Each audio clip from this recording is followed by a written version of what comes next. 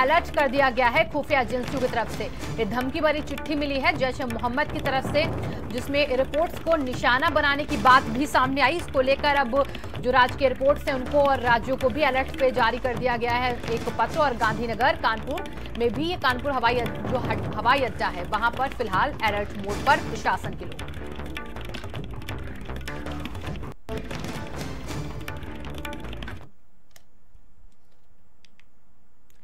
अगली खबर आपको बता दें, बुलंदशहर से जहाँ पुलिस और बदमाशों में मुठभेड़ हुई है 24 घंटे में दूसरी मुठभेड़ ये हुई है। बुलंदशहर से बड़ी खबर, जहाँ पुलिस और बदमाशों के बीच मुठभेड़ हुई, कहा जा रहा है कि 24 घंटे में दूसरी मुठभेड़ है पुलिस बदमाशों की। और बदमाश फरमान के पैर में गोली भी लगी है मुठभेड़ के दौरान। फ़िलहाल ये 24 घंटे में दूसरी मुठभेड़, और देखिए तस्वीरें मुठभेड़ के दौरान की जहाँ पुलिस को बदमाशों के साथ मुठभेड़ करनी पड़ी। 24 घंटे में दो बदमाश, एक घायल भी है। बदमाश फरमान, उसके पैर में गोली भी लगी है। वाहन चेकिंग के दौरान ही मुठभेड़ हुई और वारदात को अंजाम देने जा रहे थे, लेकिन फ़िलहाल पुलिस ने धर दबोचा है। मुठभेड़ में बदमाश फरमान, वो घायल भी बताया जा रहा है। देखिए, मौके से गोली के, गोली भी मिली है और बाइक भी पुलिस को मिली है। एक तमंचा कारतूस भी बरामद हुआ है। पुलिस को बाइक के साथ साथ और फ़िलहाल जो बदमाश है फरमान, वो अभी हॉस्पिटल में भी है पैर में गोली लगी है एनकाउंटर ताबड़तोड़ जा, जारी है लगातार पुलिस के और बुलंदशहर से खबर आप तक इस वक्त हम पहुँचा रहे हैं।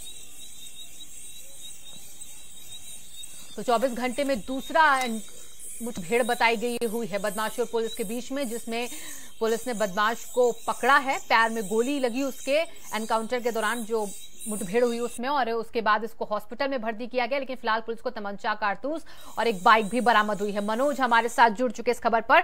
मनोज, देखिए, वाहन चेकिंग के दौरान बताया जा रहा है पुलिस और बदमाशों के बीच मुठभेड़ हुई। ये भी कहा गया किसी वारदात को अंजाम देने जा रहे थे बदमाश। जी शिवानी बता दें मामला बुलंदशहर के कोतवाली देहात का है जहाँ एक हापुड़ से बुलंदशहर किसी बड़ी घटना को अंजाम देने के लिए एक फरमान नाम का बदमाश आया। इसमें करीब डेढ़ दर्जन से ज़्यादा मुकदमा दर्ज है अन्य विभिन्न विभिन्न थानों में। हाँ। एक किसी बड़ी घटना को अंजाम देने आया था तो पुलिस ने रोकने की कोशिश की लेकिन नहीं रोकने पर इसने पुलिस पर फायरिंग कर दिया।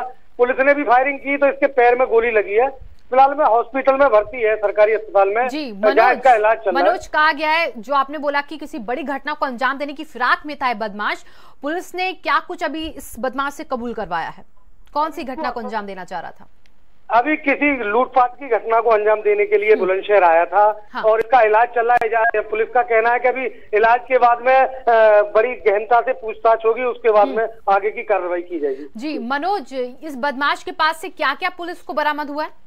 एक कंचा हाँ। है। खाली कारतूस है और एक बाइक बरामद हुई है हाँ। जो घटना में पकड़ी गई जी। जी बिल्कुल। देखिए पुलिस को कामयाबी मिली है। 24 घंटे में दूसरा एनकाउंटर है। बहुत बहुत शुक्रिया आपका इन तमाम जानकारियों के लिए मनोज। प्रतापगढ़ से अगली बड़ी खबर जहाँ पर रिक्शा चालक का गला काटकर उसे घायल किया गया है। इस वक्त की बड़ी खबर जहाँ रिक्शा चालक को घायल किया गया है गला काटकर उसको और बदमाशों ने लूट के इरादे से घटना को अंजाम दिया। घायल रिक्शा चालक बनवारी प्रयागराज रेफर कर दिया गया है। लूटपाट की घटना को अंजाम देने के कारण यह हादसा हुआ है। बदमाशों का आतंक, पुलिस ने तलाश जारी कर दी बदमाशों की। नगर कोतवाली के चकवन तोड़ की पूरी घटना बताई जा रही है। जहाँ पर देखिए, प्रतापगढ़ में रिक्शा चालक को निशाना बनाया गया, उसको लूट करने के इरादे से कुछ बदमाशों ने उस पर हमला किया। गला भी काटा, उसका घायल अवस्था में उसे फ़िलहाल बनवारी प्रयागराज रेफर कर दिया गया है। और बदमाशों का आतंक देखिए किस तरह से बढ़ता हुआ, लेकिन पुलिस भी लगातार अपना शिकंजा कसती हुई पुलिस की अभी तलाश जारी है, जिन्होंने इस घटना को अंजाम दिया है। तो प्रतापगढ़ से बड़ी खबर आप तक हम पहुँचाने जा रिक्शा चालक का गला काट कर उसे घायल किया गया है। बदमाशों ने लूट के इरादे से इस घटना को अंजाम दिया गया।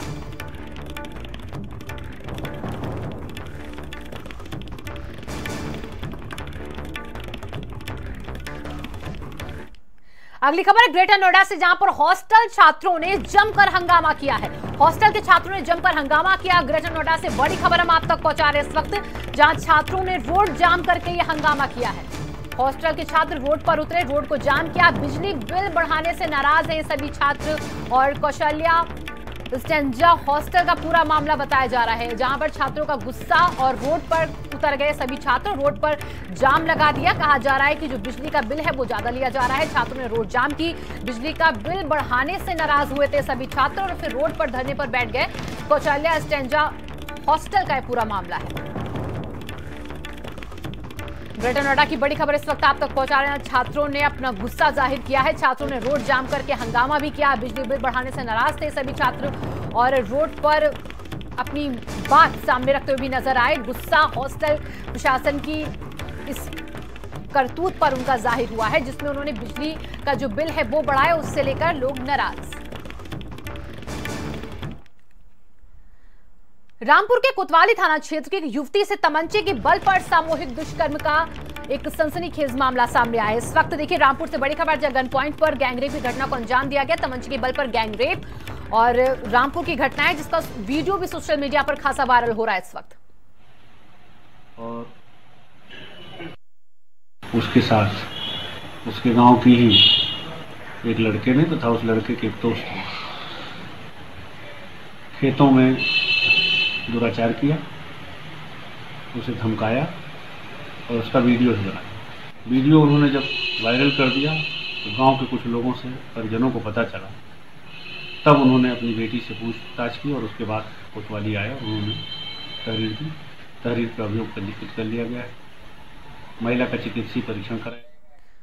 हमारे साथ रामपुर के एसपी अजय पाल शर्मा वो भी जुड़ चुके हैं इस खबर पर। सर आपका बहुत बहुत स्वागत। भारत समाचार में पहले तो लेकिन देखिए एक युवती के साथ गैंगरेप की घटना को अंजाम दिया गया। किस तरह से आप कार्रवाई कर रहे हैं इस पर? जी मैडम जो रिपोर्ट हाँ। आई है कल रात में जो की गई है उसमें दो लोगों के विरुद्ध ये आरोप है। तो उनके द्वारा इस तरह की घटना को अंजाम दिया गया है। जिसमें तत्काल मुकदमा दर्ज करते हुए टीमों को गिरफ्तारी के लिए लगाया गया था जिसमें एक आरोपी की गिरफ्तारी की जा चुकी है हम्म। और दूसरे आरोपी की गिरफ्तारी भी जल्द की जाएगी और बाकी चिकित्सा परीक्षण करा करके विवेचना आगे जारी है। बहुत जल्दी इसमें आवश्यक कार्रवाई पूर्ण की जाएगी। जी अजय पाल जी जो युवती है जिसके साथ ये हादसा हुआ उसने कुछ बयान दिया अभी तक? बयान अभी लिया गया है। जैसे हाँ। मैंने बताया कि कल रात्रि में कंप्लेंट आई है तो एफआईआर दर्ज की गई है चिकित्सा परीक्षण कराया गया है। हम्म। उसके बाद आगे की जो कार्रवाई है वो हमारी जारी है। एक आरोपी गिरफ़्तार कर लिया गया और दूसरे आरोपी की जल्द गिरफ्तारी सुनिश्चित की जा रही है। जी देखिए एक एक गिरफ़्तार हो चुका है जयपाल जी और अब आगे की आप कार्रवाई करेंगे। युवती ने किसी को चिन्हित भी किया है क्या इस पूरे मामले में? वो जानती थी उन लोगों को क्या अनजान लोग थे?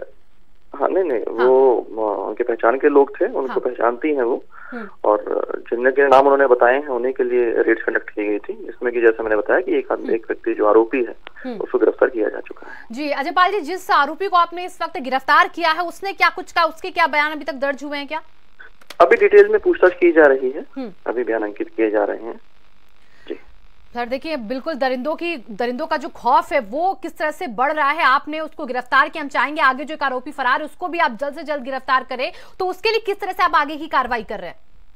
बहुत जल्द में कार्रवाई इसमें गिरफ्तारी की जाएगी और विवेचना पूर्ण रूप से पूर्ण रूप से की जाएगी उसमें ताकि जल्द से जल्द उनको सजा भी दिलवाई जा सके न्यायालय के माध्यम जी बहुत बहुत शुक्रिया अजय पाल जी तमाम जानकारियों के लिए आपका। मुजफ्फरनगर से अगली खबर जहाँ पर आपको बता दें कि भाकियों का विशाल धरना प्रदर्शन मुजफ्फरनगर से बड़ी खबर हम आप तक पहुँचा रहे हैं, जहाँ भाकियों का विशाल धरना प्रदर्शन शुरू हुआ है। हज़ारों किसान धरने पर हैं। हज़ारों किसान धरने के लिए लखनऊ भी पहुँच गए हैं। गन्ना, भुगतान, बिजली के दामों पर प्रदर्शन हो रहा है। गन्ना भवन के सामने होगा धरना प्रदर्शन और इस वक्त की बड़ी खबर आप तक हम पहुँचा रहे हैं, जहाँ मुजफ्फरनगर से भाकियों का विशाल धरना प्रदर्शन शुरू हो चुका है। हज़ारों किसान फ़िलहाल धरने के लिए लखनऊ भी पहुँच चुके हैं। तो गन्ना भुगतान और बिजली के दामों को लेकर ये धरना प्रदर्शन किया जा रहा है। गन्ना भवन के सामने धरना प्रदर्शन, लखनऊ काफ़ी संख्या में किसान।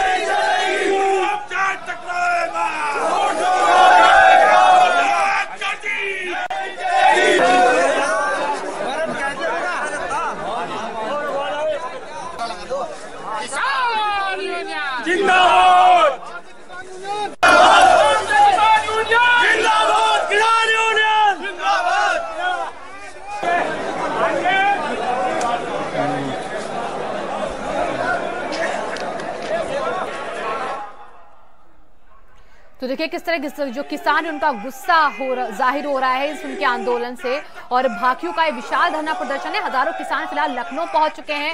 जो बिजली के दाम है, उनको लेकर उनके अंदर गुस्सा है, उसको लेकर उनका धरना प्रदर्शन है। गन्ना भुगतान को लेकर किसान खासा नाराज़ है, उसको लेकर भी इनका धरना प्रदर्शन हो रहा है। मुजफ्फरनगर से खबर बता रहे हैं, जहाँ पर कई किसान इस वक्त लखनऊ के लिए रवाना हो चुके हैं। भाकियों का ये विशाल धरना प्रदर्शन हो रहा है।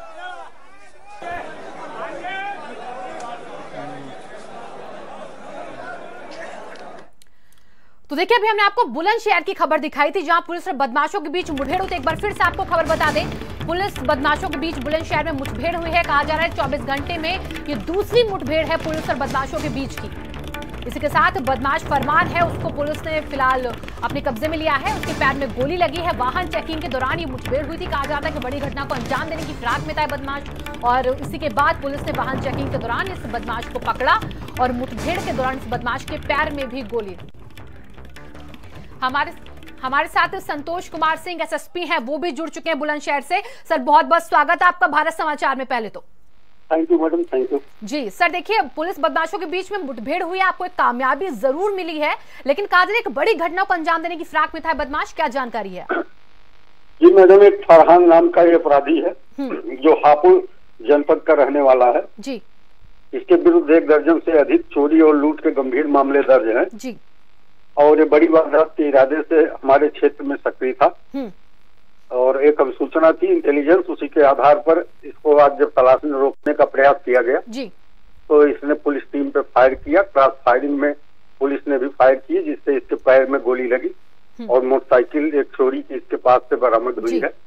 इसका दूसरा साथी मौके से भागने में सफल रहा है जिसके बारे में हमें जानकारी प्राप्त हो गई है। जी। हम उसकी भी गिरफ्तारी का प्रयास कर रहे हैं। जी। सर और निश्चित तौर पर ये अंतर जनपदीय स्तर का अपराधी है और आसपास के जनपदों में दर्जन के आसपास जी जो दूसरा साथी आपने बताया उसकी जानकारी आपको हासिल हो चुकी है। जल्दी उसको गिरफ़्तार कर लेंगे तो कब तक गिरफ्तारी हो सकती है दूसरे आरोपी की बदमाश की? अब निश्चित तौर पर रात में भागने में सफल रहा थोड़ा हाँ। परिश्रम का काम है लेकिन हम प्रयास कर रहे हैं और हमारे जनपद का ही वो रहने वाला है। जी। हम उसकी गिरफ्तारी के लिए लगातार प्रयास कर रहे हैं। जी बहुत बहुत शुक्रिया। संतोष कुमार सिंह जी आपका इन अहम जानकारी हम तक पहुँचाने के लिए।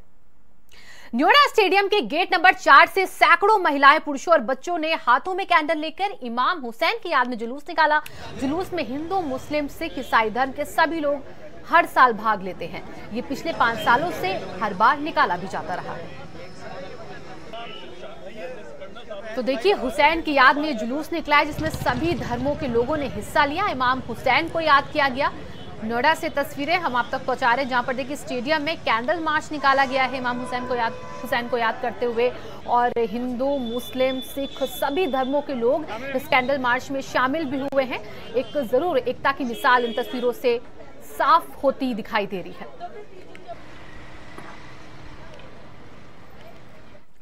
तो लखनऊ से अगली खबर, जहाँ रेजिडेंसी में गार्डों की गुंडाई देखने को मिली इस वक्त की बड़ी खबर लखनऊ से बता रहे हैं आपको, जहाँ पर देखिए रेजिडेंसी में गार्डों की गुंडाई देखने को मिली। इसी के साथ आपको बता दें कि जो अवैध वसूली है, उसी के चक्कर में युवक, युवती को जमकर पीटा। चार दिन पहले पिटाई का वीडियो भी वायरल हुआ था यहाँ पर। इनकी गुंडाई सामने आई है। अधिकारियों से शिकायत के बाद भी अब तक किसी तरह की कोई कार्रवाई नहीं हुई है। पहले भी गार्डों के हमले की शिकायतें हो चुकी हैं, लेकिन कोई संज्ञान नहीं लिया गया। गार्ड पैसे वसूलते हैं लोगों से, सुविधाएँ उपलब्ध भी नहीं कराते सही से, पैसे नहीं देने वाले प्रेमी जोड़ों के साथ ये मारपीट भी अक्सर करते हैं।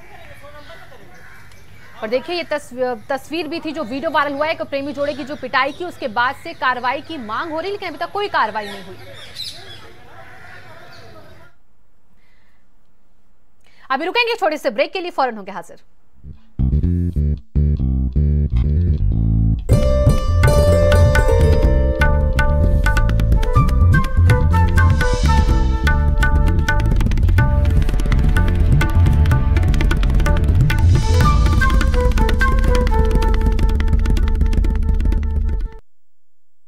सच्ची सहेली।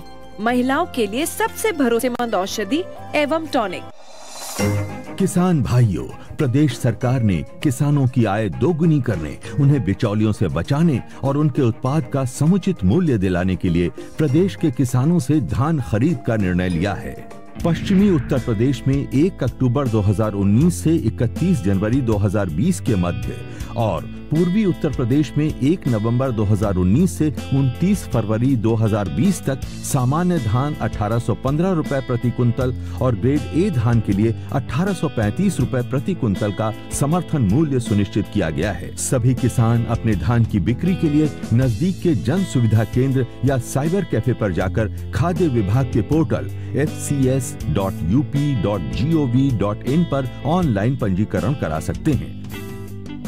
क्रय केंद्र पर उतराई, छनाई और सफ़ाई के लिए बीस रूपए प्रति कुंतल अतिरिक्त भी दिया जाएगा। धान के मूल्य का भुगतान बहत्तर घंटे में किसान के खाते में पहुँच जाएगा। इस वर्ष बटाईदार व कॉन्ट्रैक्ट फार्मर से भी खरीद की जाएगी, जिसके लिए उन्हें भी पंजीकरण कराना अनिवार्य है। किसान भाई, पंजीकरण के समय खतौनी में अंकित नाम से आवेदन करें तथा पंजीयन प्रपत्र में राष्ट्रीयकृत या शेड्यूल्ड बैंक के खाते का विवरण अंकित कराएँ। किसान धान की खरीदारी के संबंध में किसी भी जानकारी व शिकायत के लिए खाद्य विभाग के टोल फ्री नंबर एक आठ शून्य शून्य, एक आठ शून्य शून्य, एक पाँच शून्य पर कॉल कर सकते हैं या अपने ज़िले के जिला खाद्य विपणन अधिकारी से संपर्क कर सकते हैं।